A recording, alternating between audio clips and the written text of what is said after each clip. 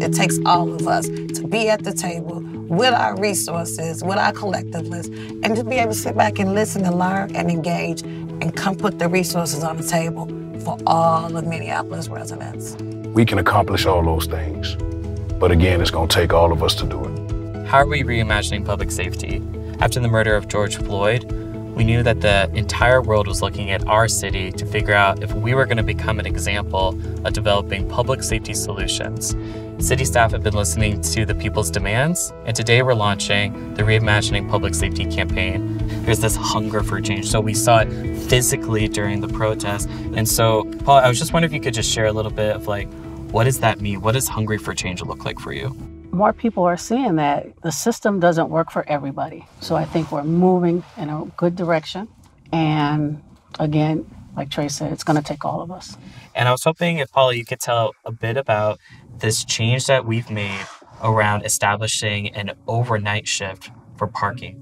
Previously, when your shift ended, police had that responsibility overnight to respond to Correct. some of those calls, right? Correct. Why did we do that? What impact is it having?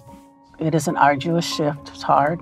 Um, but we have um, three staff that go out and respond to 311 complaints and 911 complaints. It was very clear from our research that they said we want unarmed responses because when we call police overnight, things escalate, they get out of hand, it turns into something bigger than just a parking issue. And so, knowing that your team is one of the most diverse, uses a racial equity lens, how are you seeing your work out in the community? We're not out there like just searching the neighborhood for parking violations. We're responding to people who need our services. We can respond very quickly and give the, the community better service. When you look like the community and you people see that they're represented in your department, you know, they're more welcoming you in.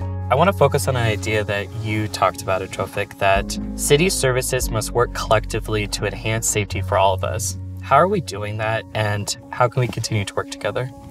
Well, I think about the different programs that the city already has in place that we can utilize, such as the cleanup program that they have in Public Works. We know that areas in our community that have high trash can sometimes um, be areas for crime and violence. Um, we also know that better lighting and more lighting in neighborhoods off the corridor can also prevent um, violence. Tell me about the shift that happened after the murder of George Floyd. What was happening? What was the community responding? What were they demanding? We've been complaining about police brutality for centuries. This is nothing new. This is a time and a place and a moment where we can actually unite. Mm-hmm. So the interrupters is that group of men and women that's in those trenches where all the gunshots are and all the dope selling and whatever else you want to call it, we there. So when we out there, we not telling them what they can and can't do. What we trying to do is offer them a different platform. Ultimately, they have to be the ones to do the work, but they can't say nobody is there that don't care. So let's be clear, public safety, when you reimagining this, listen, you can ask a thousand people a question, but if your actions don't reciprocate what's coming out of your mouth, then guess what? You spinning your wheel. So when we out there, we trying to empower these neighborhoods to become communities again. You know, tell me a bit about this new program that we've created, the Behavioral Crisis Response Team, the city's first unarmed uh, response team for mental health crises. So the BCR we started in December of 2021. We're dispatched by 911, the response to mental health crisis. And usually we just try to get people resources. So John will like set them up with resources that's gonna help them like four five months down the road. So they can like, you know, keep going back like to therapy, like have a psychiatrist they can go to. So resources that they can use long term that will help them uh, prevent like the cycle they've been going through over and over. And a lot of people appreciate that, um, and we've been getting a lot of positive response from community members. I actually want to throw it over to Trey. If you can talk about why relationships are so important to the Interrupters team. It's important because we the same guys that was born and raised in them same communities. Half of these young men and women that we see is our buddies, nieces and nephews, and they, so guess what?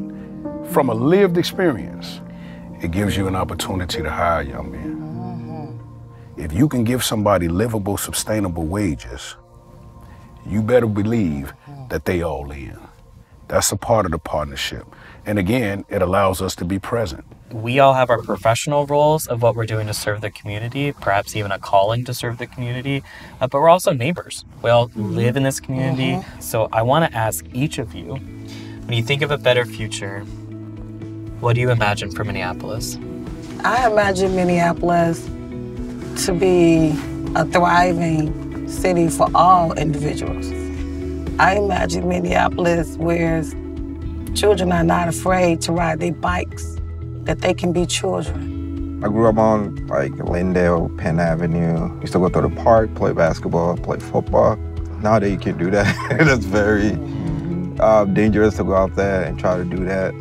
Uh, for me, I would like for Minneapolis to be like that again, where kids can go out. I imagine that resources are shared with the least, the last, the lost, and the left out. I imagine a vibrant city. In North Minneapolis, we'll have sidewalk cafes and streetscapes and just, you know, it, it would look like any other community. I imagine Minneapolis having a dose of reality from an accountability standpoint. A lot of the resources that the city provides um, have been around for a long time. They're just not being utilized. As we wrap up, I just want to thank each of you for being here, for the service that you're doing for this community, the calling that you're receiving. You are continuing to make this a safer and more thriving community for all of us. Thank you. Thank you. Thank you for having us. Thank you for having me. I I am Minneapolis.